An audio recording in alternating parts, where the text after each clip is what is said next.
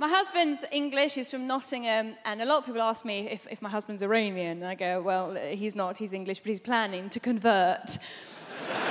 His family are absolutely lovely, and when they first met me, they kept going, Oh, Shappi's so exotic, she's so exotic, which means foreign, but not in a way that we hate. and his grandma's especially sweet. When, when she found out that I was Iranian, she goes, Oh, you're Iranian, what a coincidence. Our next door neighbours, they're Indian. oh, I must go round, compare spices. I'm actually um, going on holiday to India next month, and I wanted to know what the weather was going to be like there, so I phoned my bank.